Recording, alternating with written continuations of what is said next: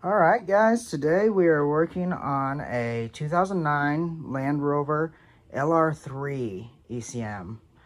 It's uh, Denso MB279700-9250. Uh, you can see it there on the tag of both of the ECMs. We're doing a one-to-one -one clone. Uh, this is an old ECM here. Um, customer says it's non-working. Um, car just cranks, won't fire. They've traced it down to this being the issue, and this is the replacement here. We're going to be using OBD Star to do the clone today. So we got a power supply over here. Um, we're going to need the 12 volt power supply to do this.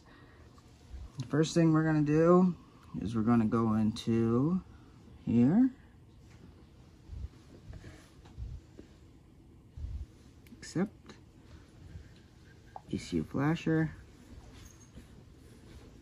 ECM. Enter.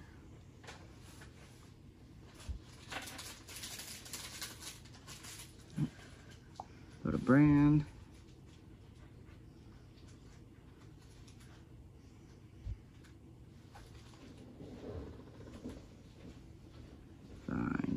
Land Rover.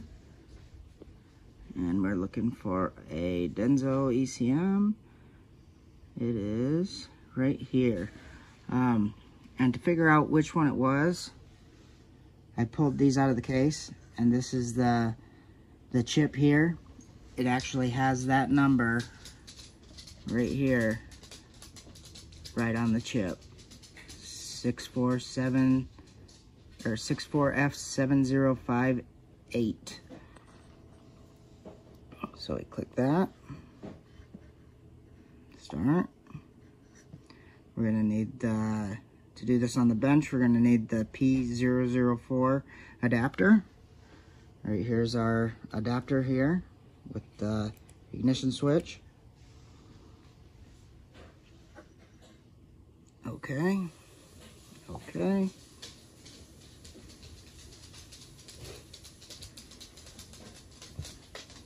Pinout. This is our pinout that we're gonna need.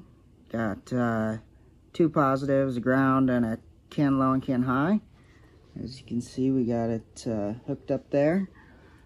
On this, be sure, right here, can high 6 can, can low 14.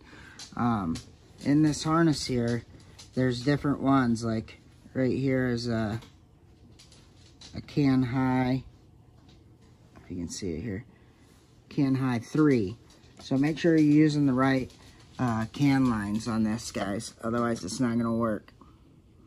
So once you have uh, your pin out, you can go, go back. You can also go to the guide here.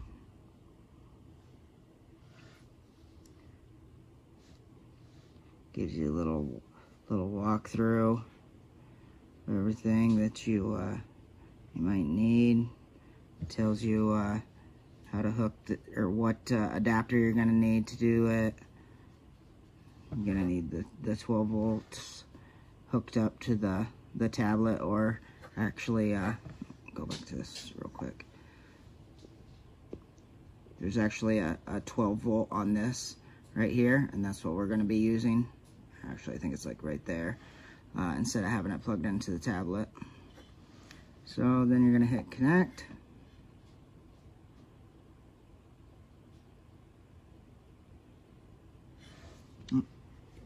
Forgot to turn on the ECM. Might want to turn that on. Connect.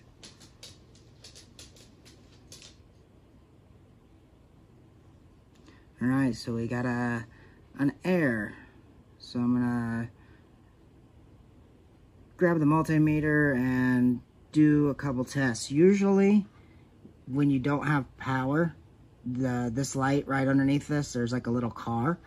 When it's thinking, that comes up. And when you don't have that, usually your pinout's wrong or you're not getting power to the ECM. So I'm gonna bust out the the good ECM and I'm gonna hook that up, see what we got from there, and then get the uh, ohm meter out or voltmeter out and uh, see what I can find. We'll be right back. All right, guys. I think I found a, a way to make this work for us. Uh, I hooked up the other ECM and I grounded out my lead and I just started checking for power on uh, different components that I know should have power. And when I got to these here, the center one should be about 5 volts. Um, and we got the meter's not even going over to the volts. It's actually doing ohms on each one of those when I test it. Um, on the good one, it's got 5 volts there. So, what I'm going to try to do is I've set the set the power supply to 5 volts. I'm going to take this little lead here that I got right here and I'm going to touch it right on that center one and we're going to see if it'll read. So let me set the camera up and we'll be right back. Okay guys, I'm about to touch this lead on there and I'm going to hit connect and see if we can get this thing to read the old ECM or connect to it. Watch right here. Uh, another light will come up underneath this if it is connecting to the ECM and it's actually thinking or, or reading. So touching on there, connect.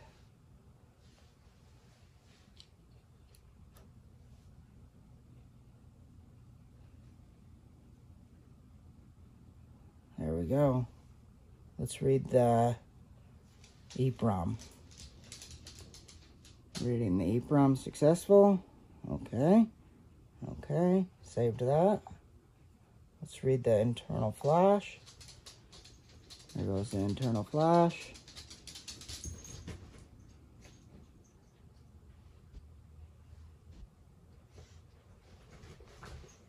As you can see, see when it's actually connected and, and reading or it's got data coming in, that little car will start to blink or light up. Um, I've noticed with this tool, anytime I don't get that little car coming up, it's usually I have the pinout on wrong and it doesn't have power, or something is dead or shorted out in the ECM, and that's why it's uh, it's not coming up.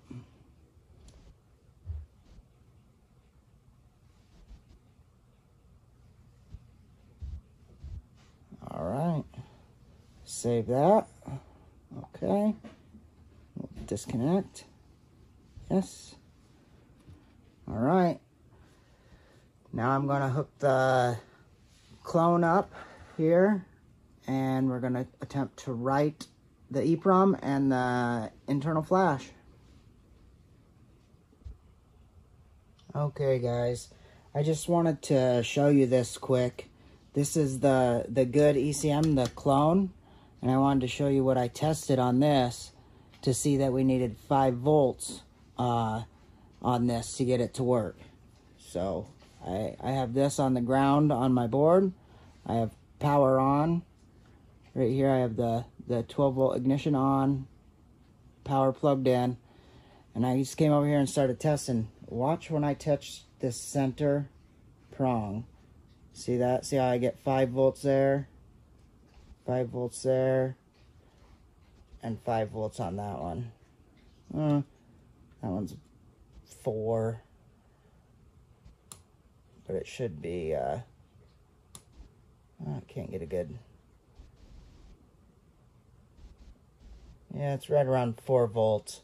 Um, all it took was us putting 5 volts to that, uh, to that back one. And it, uh, was enough to get that thing to read. So if you ever have issues where this little light on here is not coming up, it's uh, it's a good idea to go in and, and test with the multimeter and, and see if you can find, you know, where you're losing power or it, it could even be ground. Um, a lot of times when you're looking at the board with a magnifying glass, you might see something, uh, some type of little component that's burnt. Um, and a lot of times if it's like a, something like that, you can put five volts and, and basically backfeed the system uh, from the opposite side of of where it should be uh, taking power from, which would be this side. So we're basically we're backfeeding from this. Um, turn that off there. Uh, so let's go ahead and uh, write this in there. Um, move this down a little bit.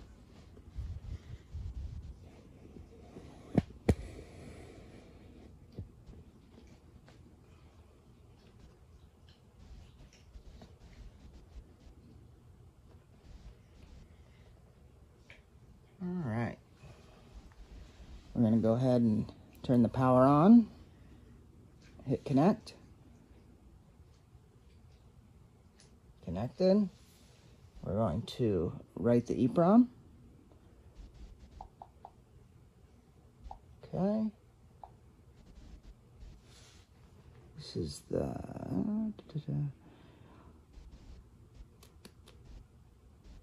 The EEPROM.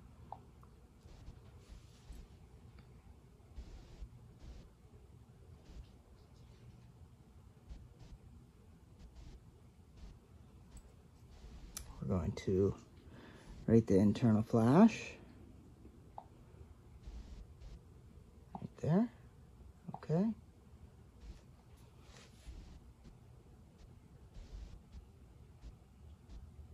Right now it's erasing that uh, that chip and then I'll move on to writing it.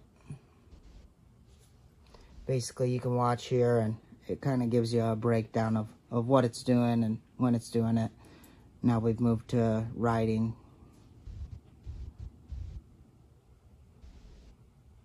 As you can see, we have that light blinking up there. It means it's got data going back and forth.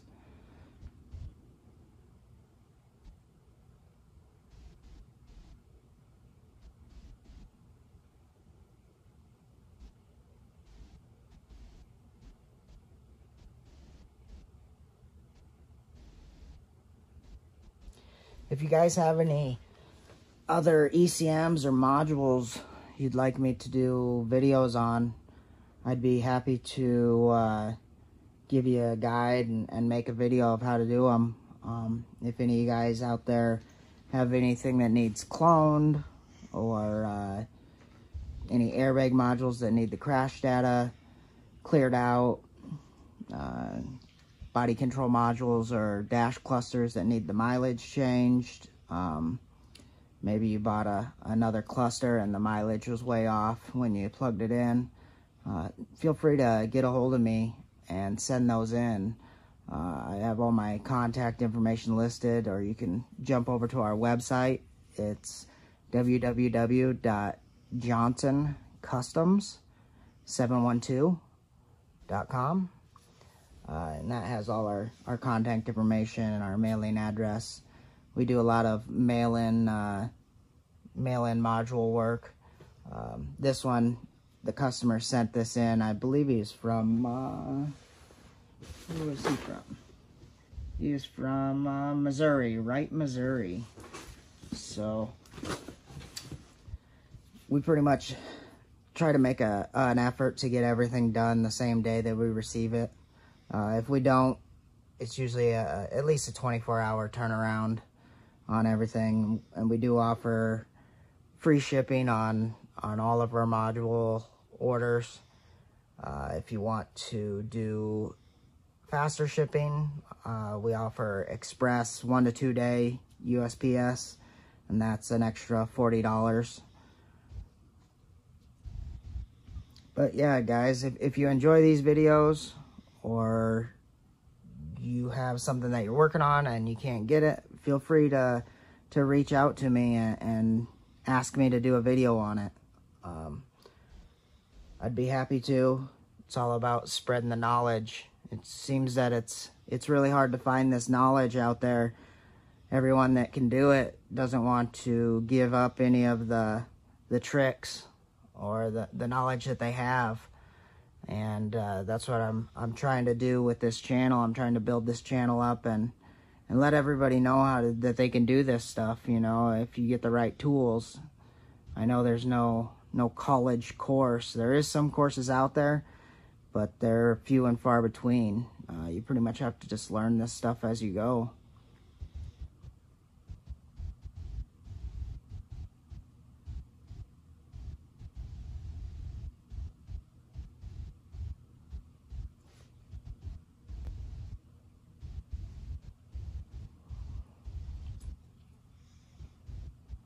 And there it is, successfully.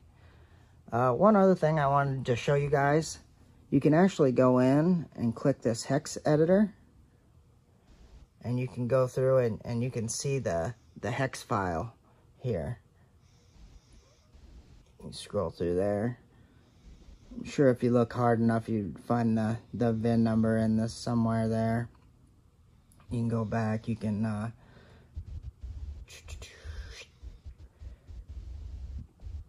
Go disconnect. You can also open the, the EEPROM and do the same thing. Hit the, the hex editor and and go through that. If you uh, if you're super talented and, and you know what you're doing, uh, you can actually go in and, and edit that EEPROM. You don't even need to uh, to clone the original over. You could just take the the replacement, read the EEPROM, and then make the edits that need to be made uh, with the hex editor there and write it back and it would be good to go. Um, but a lot of uh, knowledge goes into that. I'm not uh, not one of the guys that knows how to do do that yet. Um, if you do know how to do that, feel free to reach out and uh, give me some advice. Though I'd love to uh, love to learn new things. So and if you ever see anything in, in my videos that uh, you think isn't quite right or I'm, I'm doing it the hard way, feel free to drop a comment and let me know. Um, I always would uh, would appreciate any criticism. Um, I'm not gonna get all bitter about it like most people do. Um, uh, I'm here to learn just like you guys are. So, with that said, you guys have a have a good weekend.